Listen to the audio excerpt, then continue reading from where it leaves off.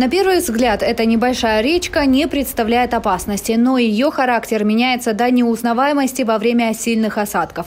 Мощь Хироты в октябре прошлого года увидели жители улицы Кирпичной. Единственная переправа, которая позволяла сократить путь в район часть совхоза, была смыта. Неудобства сразу ощутили почти 5 тысяч человек, в том числе и представители краевой общественной организации «Союз офицеров запаса». Моста не стало, нам везде отказывали, на всех инстанциях, говорили, что это невозможно, мост не находится на балансе э, города, и мы зашли в тупик. Потом какие-то прошли изменения, вот, появился, так сказать, новая администрация, э, городская, э, Адлеровская и Сочинская, с которой мы уже начали конкретно решать эти вопросы.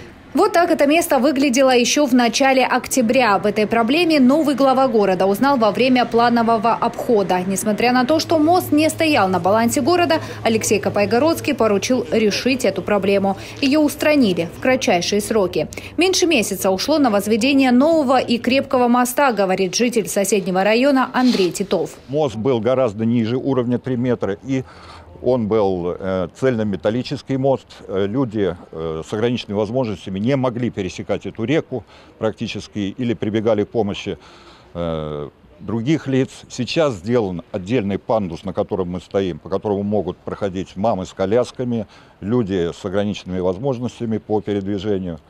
Сделано все прекрасно.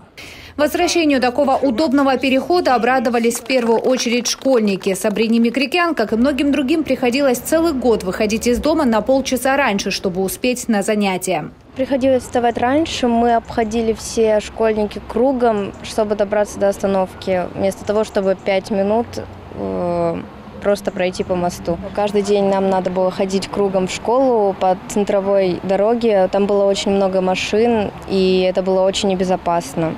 Говоря о безопасности, стоит отметить, что теперь обильные осадки и разлив реки Хирота жителям улицы Кирпичная больше не страшны. Дома защищены опорной стеной, а новый мост стал выше, шире и надежнее. Татьяна Говоркова, Михаил Дубинин, телекомпания «ФКТ».